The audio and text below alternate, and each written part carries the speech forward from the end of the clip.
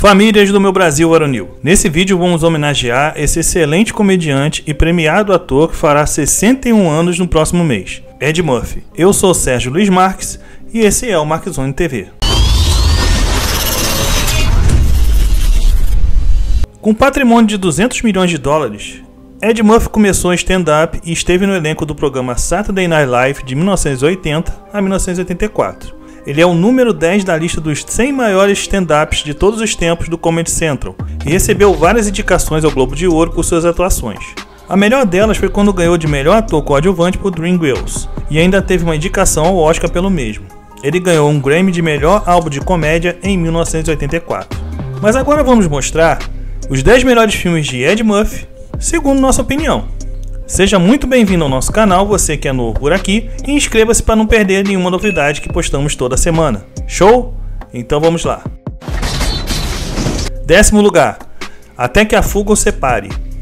Ed é Ray Gibson, trambiqueiro espertalhão que vive de pequenos golpes, que junto com Claude Banks, personagem de Martin Lawrence, são presos acusados injustamente de assassinato e condenados à prisão perpétua em 1932. Durante os anos que se passam, eles vivem brigando, tentando fugir e arrumar um jeito de provar sua inocência. Dane-se o dinheiro, não é pelo dinheiro. Que se dane, eu perdi o relógio do meu pai. Que se dane aquele relógio barato, cara. Ah, ah, ah, me desculpe, é, é, eu vou parar, tem razão. Mais uma vez, se falar mais uma vez, eu arranco seus dentes, eu juro. E olha como é que você vai voltar para Nova York. N nós, olha. Nono lugar, A Creche do Papai.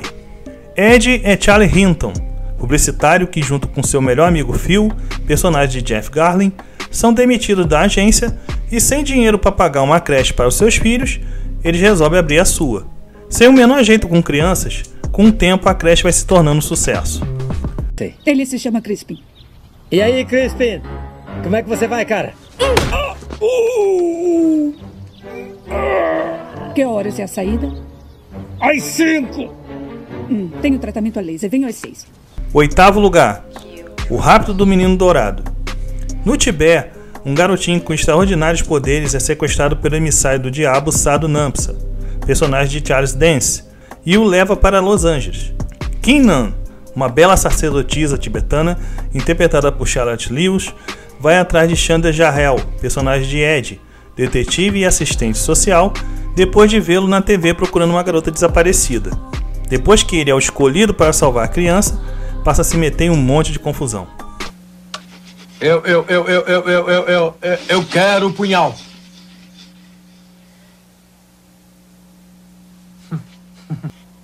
Eu quero o punhal. Por favor. Sétimo lugar, Dreamgirls. Esse filme foi a consolidação da carreira de Ed. Ganhou seu primeiro Globo de Ouro de melhor ator coadjuvante e foi indicado ao Oscar na mesma categoria. O filme é baseado no premiado musical da Broadway de 1981, que conta a história da Motown Records. James Thunder Early é o personagem de Ed, que é baseado nas esferas James Brown, Little Richard, Jack Wilson e Marvin Gaye.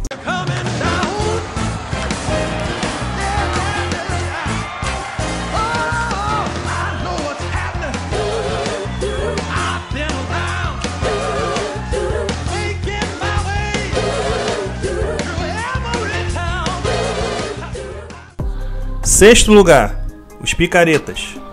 Ed faz dois personagens nesse filme. Um é Kit Hansey, grande estrela de Hollywood, que participa de um filme mesmo sem saber que está nele.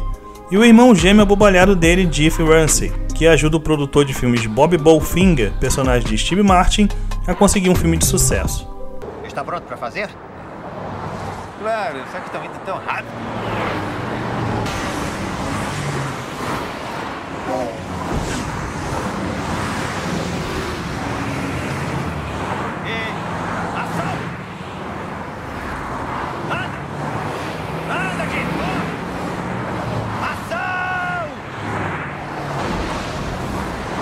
Quinto lugar, trocando as bolas.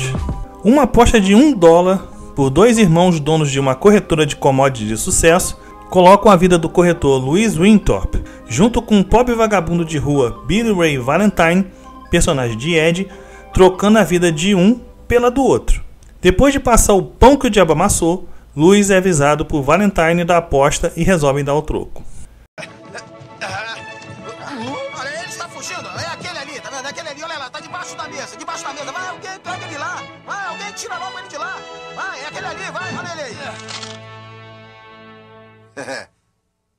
Algum problema, minha gente? Quarto lugar, Professor Aloprado. Ed é o professor universitário e cientista Shaman Clump, que por ser um obeso mórbido, tenta inventar uma fórmula mágica para perder peso. Apaixonado pela professora Cara Purdy, personagem de Jada Pinkett Smith, ele resolve testar em si mesmo. Ele se transforma em Buddy Love, magro, carismático, mas maligno. Magrinho, magro, eu tô magro, eu tô magro, eu tô magro. Tudo é A, tudo é A, tudo é A, eu tô magro. Cacete? Eu tô vendo o meu pinto. Eu tenho pinto, eu tenho pinto, eu tenho pinto. Terceiro lugar, 48 horas. Foi a estreia de Ed no cinema e ainda foi indicado no Globo de Ouro de melhor revelação. Ed é Reggie Hammond, prisioneiro condenado que, junto com o policial Jack Cates, personagem Nick Note, tem 48 horas para pegar dois assassinos. Foi o primeiro filme do gênero Buddy Cop que junta duas personalidades completamente diferentes que são forçadas a trabalhar juntos para solucionar um crime. Você aí, companheiro. Estou procurando um cara chamado Billy Urso. Sabe onde eu posso encontrar? Olha aqui, eu não ligo a mínima pro seu distintivo, negro. Ah, então você é um daqueles caras durões, não é? Ah! Vocês estão de miolo mole, hein? Fiquem quietos e não encham o saco. Vocês acham que eu estou aqui brincando, é? Vocês estão de miolo mole, é? Segundo lugar, um príncipe em Nova York.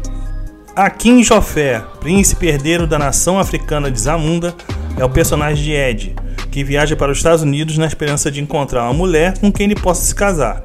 Foi uma história totalmente criada por Ed. Eu já avisei, serei forçado a dominá-lo. Vai se danar.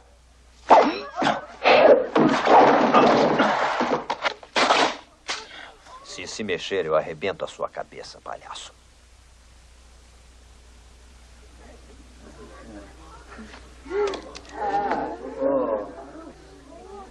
Alguém chame a polícia? Depressa! Um bônus desse excelente e carismático ator.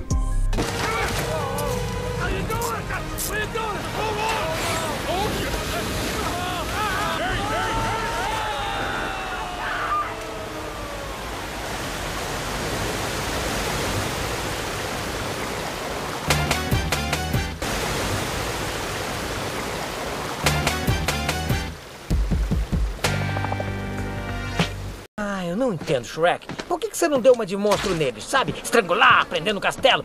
Moer os ossos e pôr no pão, sabe? Serviço completo. Oh, entendi. Talvez eu devesse ter decapitado toda a vila e pendurado as cabeças, pegado uma faca, cortado a barriga e bebido seus fluidos. O que, que você acha disso? Ah. não acho legal, não. Why'd you bail me out? I don't even know your goddamn name. We used to get dropped off every morning for daycare. I do remember you. You the little seizure boy that was having them seizures all the time. Nobody would have nap time with you. Nobody would do coloring with you or nothing. Because I have a job, all right? And I thought that you might be able to help us. what you trying to steal? $20 million. Let's go get something to eat. Norbit, quantas vezes eu disse pra não mexer no banco quando dirigir o meu carro? Eu não mexi nele. Então por que está pra frente? Acho que está o mais pra trás possível, Rasputia. Você mexeu nele sim, porque quando eu inspiro, meu sei faz a buzina tocar, olha! Tá vendo só? Isso não está certo. Eu ouvi. Isso prova cientificamente que você mexeu no meu banco. Primeiro lugar, um tira da pesada. Quem aí não conhece o famoso policial de Detroit, Axel Foley, personagem mais famoso de Ed, que o fez ficar famoso no mundo todo? Claro que sim. Ele visita a famosa Beverly Hills para investigar a morte do seu melhor amigo. Mas o melhor é quando ele se junta com a dupla de policiais do local, detetive Billy Rosewood e sargento Don Taggart, fazendo juntos as melhores cenas. Viu? Bota as mãos na mesa. Viu? Que é isso, meu irmão? Pra que um canhão desses na mão? Volta pra lá, cara. O que, que você tá fazendo com essa arma? Eu mandei você cara? voltar. Você tá mudado, mudou Eu tô mandando muito. você voltar. Se não voltar, eu vou estourar os seus miolos. Polícia, mexeu, morreu. Não se mexe, não! Vira pra cá! Mandou bem, Rosewood. Você é um bom policial, sabia? Desculpem a bagunça, pessoal. Tá tudo sob controle. Comente aqui embaixo qual é o melhor filme de Ed Murphy para você Envie sua lista e dá um like aí se gostou do vídeo, família. Compartilhe esse vídeo com seus amigos e familiares e faça parte da família Marquezone se inscrevendo no canal e ativando o sininho para não perder os próximos vídeos. Show? Valeu pela força, partiu!